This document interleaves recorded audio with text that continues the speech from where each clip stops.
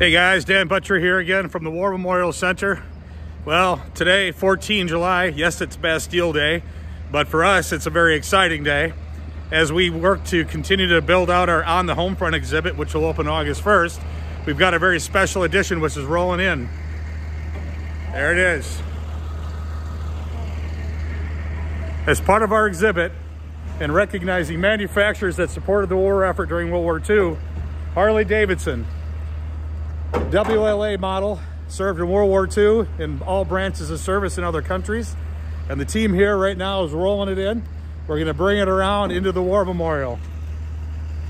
This is pretty exciting stuff. This is an amazing piece of equipment. Uh, they wore and received the E Award during World War II.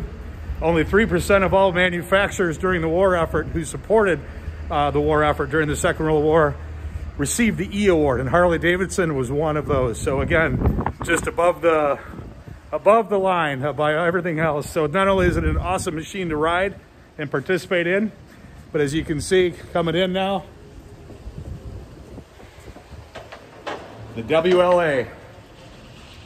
So as we're gonna bring that down to the lower level, next video you're gonna see is once we open the war memorials on the Homefront exhibit.